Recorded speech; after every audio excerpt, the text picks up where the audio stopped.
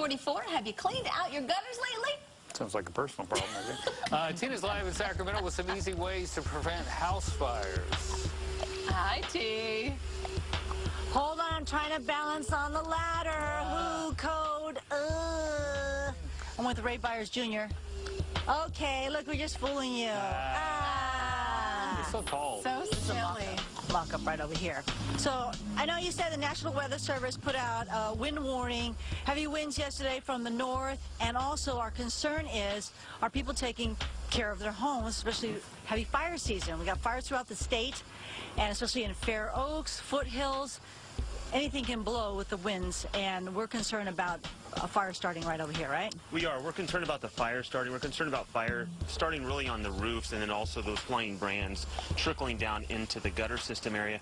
What tends to happen once that starts is now all of a sudden we have a house fire. Right. Um, and that's never a good thing. You never want to want to have that house fire. I mean, how often do you check to see if your gutters are clear and a lot of the dry leaves get stuck in here from, you know, Right. the winter? People are typically checking the, the gutter system when it's raining outside, not not when it's dry and a beautiful day like Right. today. Right, so anything can happen. I mean, they might be rare, but really anything can happen. So we're going to have a mock-up fire here. Should we cue the fire? Yeah, let's Cue cue the the fire. fire. And Cue the uh, flames. really, I, Cue I the think flames. uh, what you're going to notice is when the fire gets going, how quickly the tinder can ignite. I mean, we're already starting to see smoke um, Oh, wow, coming out. It's uh, we, we're starting to see a little bit of flame here.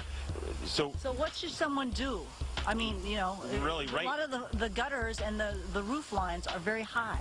Yeah, right now, really, the, the thing that you should do for your family and also your neighbors is, is really keep the systems clean. Keep the defensible space uh, clear around your house. If you go to byersleafguard.com and you check out our Safe and Smart campaign, you're really going to see a great, uh, great tips on how to keep a defensible space around your house and also how to keep your, your family safe. We're talking about having any dry brush, dry anything away from your home, uh, plants, things like that, right? That's right. So dry, dry grass that maybe you had clippings. 100 feet away? 100 feet away is really what they want to look at, and uh, just just to give yourself a little bit of buffer. A little bit of a buffer here. All right. So another thing too, there's a house over here to our left, across the street, with a lot of leaves on it. That's something we need to watch out too. Right. That's this is the time of year when you don't think about cleaning out your gutters with homes like this. But if this house were to that we have this fire going on currently, if this were to actually go up and uh, those flame brands were to catch over there, Right. now all of a sudden we have a house fire over there. And you want the gutters covered too, if we can, right? California, Cal Fire put in a code. They want to see a covered gutter system like what we have up here Uh-huh. um, on new construction. And really, what Okay. that's for is just so that we can make sure that we don't have the accumulation of debris. Shall we cue the water now? Cue Yes. the water. Yes, cue the water. Here we go. And let's get that taken care of. There we go. So we don't start a fire in the whole neighborhood, right? Thanks, Yes. Ray. Thank you. Thank you very, very much. So there you go. Check your homes and make sure that you live in a safe area. Okay? Good advice. Also have a good fire safety plan too, like Yeah. an evacuation plan.